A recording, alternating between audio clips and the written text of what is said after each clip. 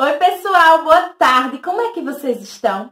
Eu espero que todos vocês estejam muito bem. Eu também estou bem, graças a Deus. Olha só, vamos iniciar mais uma semana de aula. Hoje, segunda-feira. Hoje é dia 24 de agosto de 2020. O mês de agosto passou bem rapidinho e já estamos no final, não é?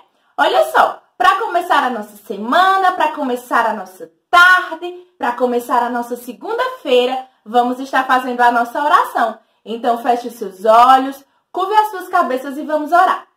Deus querido, nós te agradecemos por mais uma tarde. Pedimos que o Senhor permaneça conosco, pedimos que o Senhor nos ajude, que o Senhor nos fortaleça e que o Senhor nos livre de todo mal.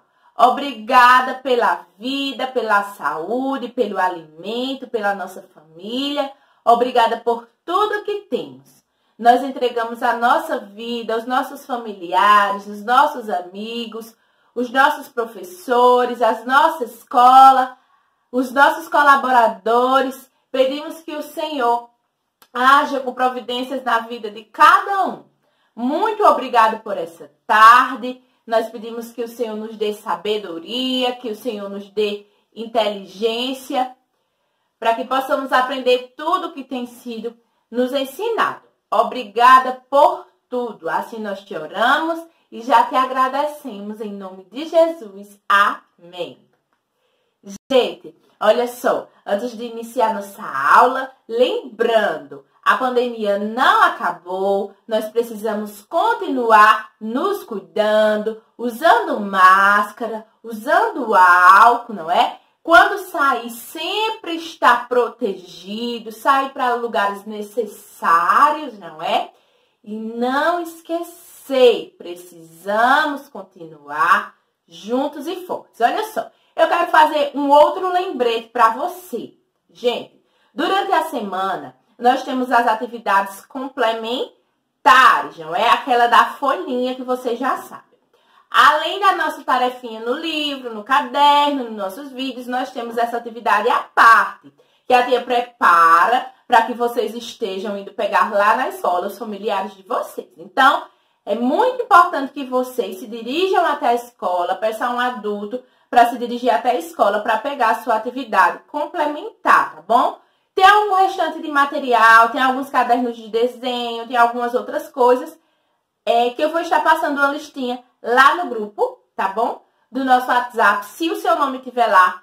Quando for pegar atividade complementar, tia, a tia que estiver lá, o tia Raquel, tia Sonali, alguma tia que estiver lá, você vai dizer, está faltando determinado material e a tia vai e lhe entrega junto com a atividade complementar, tá bom? Não deixe de pegar a sua atividade complementar, é essencial e vale nota, tá bom, pessoal? Então, vamos iniciar a nossa aula da segunda-feira, que é nossa aula de português, ok? Vamos lá, preste bastante atenção. Turma, hoje o tema da nossa aula é solidariedade. Esta palavra que está dentro dessa nuvenzinha, essa palavra bem comprida, ó.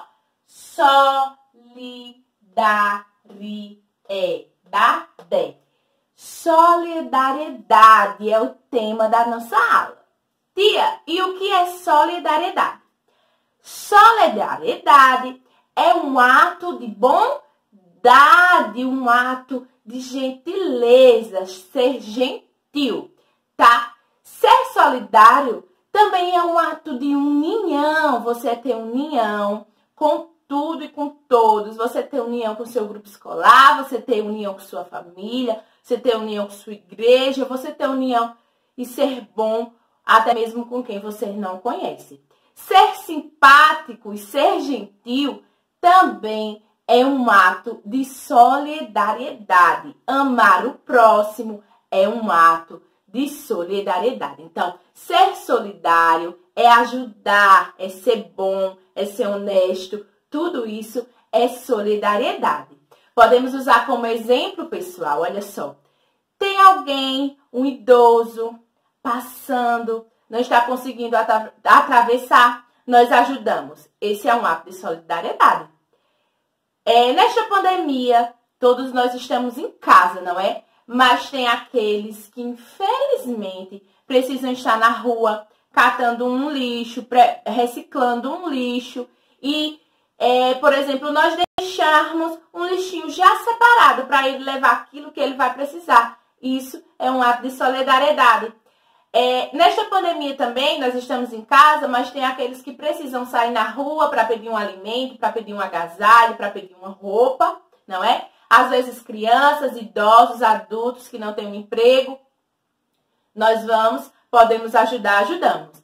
Isso é um ato de solidariedade. Então, vamos ser solidários, vamos amar o próximo, vamos, vamos ajudar todos, se possível. Então, nós vamos realizar uma pequena atividade no nosso módulo. Vamos lá.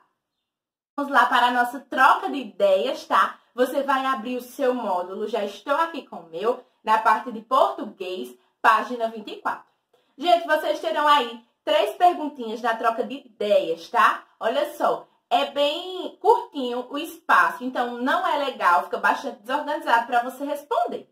Então, o que é que você vai fazer? Pega o seu caderno de português e vai colocar Escola Santa Terezinha, Campina Grande, a data de hoje, que é 24 de 8 de 2020. Em seguida, você vai colocar resposta da atividade da página 24 e vai responder para ficar melhor, para ficar mais bonito, mais organizado, para depois, quando você precisar para estudar, não é para as nossas provas, para as nossas avaliações, vai estar lá tudo bem bonito, bem organizadinho, vai ficar melhor para você. A primeira pergunta que o livro está fazendo na troca de ideias é: Você gosta de ganhar brinquedos? E aí, quem é que não gosta, hein?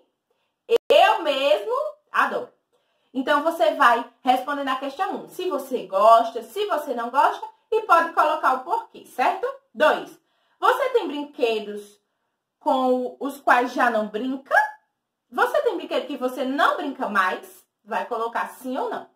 O que pode fazer com eles? O que é que vocês costumam fazer? O que é que nós podemos fazer com aquilo que nós não estamos mais usando, não está mais nos servindo no momento?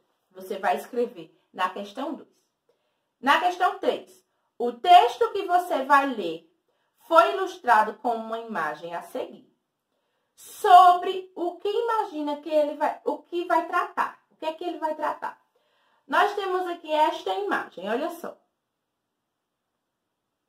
Uma caixa repleta de brinquedos, não está nem dando mais dentro da caixa de tanto brinquedo que tem aí dentro. Os brinquedos estão saindo. O que é que você acha que essa imagem quer falar? O que, é que essa imagem quer dizer? Então, você vai escrever aí, tá? É, na parte da questão 3 dessa troca de ideias, tá bom? Olha só, nós vamos ainda realizar uma outra atividade, tá bom? Então, vocês vão realizar esta. A nossa aula não encerrou por aqui. Daqui a pouquinho estamos de volta.